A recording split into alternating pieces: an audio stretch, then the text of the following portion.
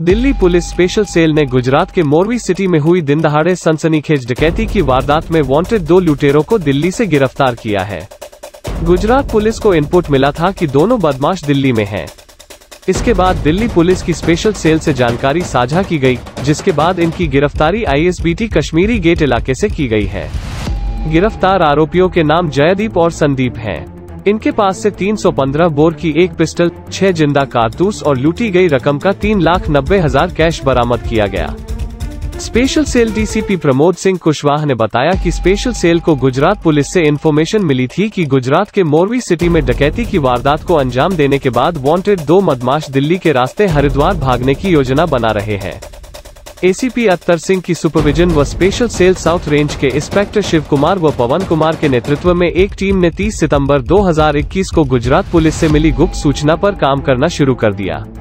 Special cell को technical surveillance व मुखबिरों से टीप मिली कि गुजरात वांटेड दोनों लुटेरे हरिद्वार जाने के लिए आईएसबीटी कश्मीरी गेट आने वाले हैं।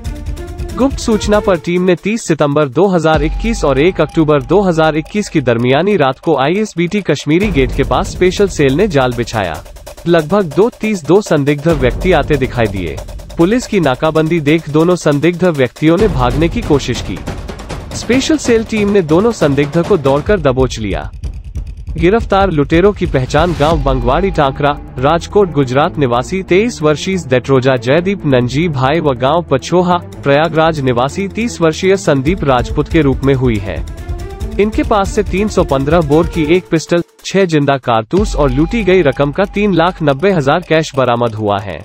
दोनों लुटेरे दिनांक 28 सितंबर 2021 को दोपहर करीब एक पंद्रह गुजरात के मोरवी शहर में बंदूक की नोक पर दिनदहाड़े सनसनीखेज डकैती की वारदात को अंजाम देकर फरार हो गए थे।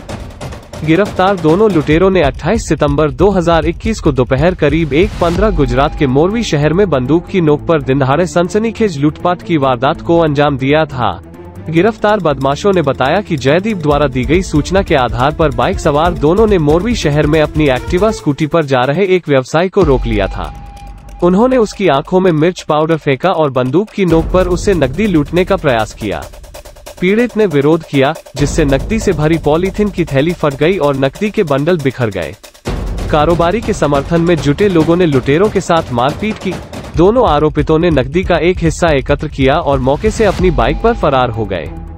दोनों आरोपी बदमाश पुलिस से बचने के लिए हरिद्वार जा रहे थे, लेकिन हरिद्वार जाते समय दिल्ली पुलिस की स्पेशल सेल ने उन्हें दिल्ली में ही पकड़ लिया।